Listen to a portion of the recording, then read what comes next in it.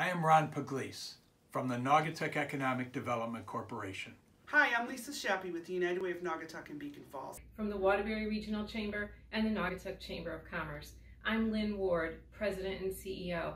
Congratulations, Ion Bank, on 150 years of serving and caring for our community. Congratulations for 150 years of great support for this community. How fortunate are we to have Ion Bank in our community for 150 years?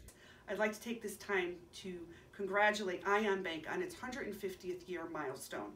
So much more than a financial partner, you are our neighbor and our friend, and all of us at Jane Doe No More are so grateful. I want to wish all the best to Ion Bank for the service that they have provided the Naugatuck community and now all around the state of Connecticut for 150 years.